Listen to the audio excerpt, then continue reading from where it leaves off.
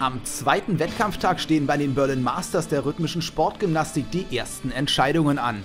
Die Gesamtführenden im Mehrkampf sind nach den Geräten Ball und Reifen Katsiarina Halkina aus Weißrussland vor den Russinnen Ekaterina Selesneva und Julia Bravikova.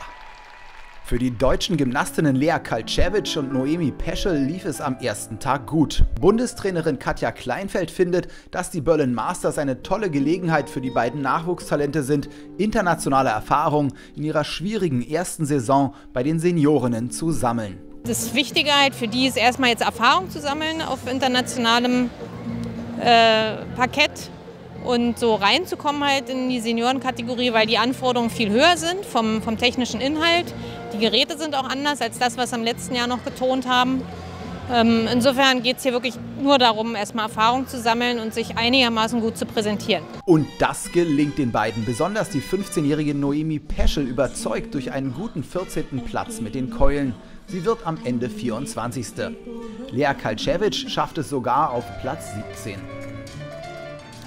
Eine weitere Entscheidung steht im Gruppenwettkampf an. Für das neu formierte deutsche Team ist die Zielsetzung die gleiche wie bei den Einzelstarterinnen. Erfahrung sammeln. Das hindert die 16-jährige Alexandra Tikonovic vom Berliner TSC allerdings nicht daran, schon mal große Pläne zu schmieden.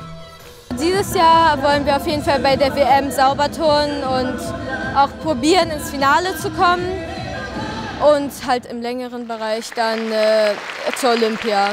Am Ende wird es ein guter fünfter Rang fürs deutsche Team. Der Sieg geht hier an Olympiasieger Russland vor der Ukraine und Weißrussland.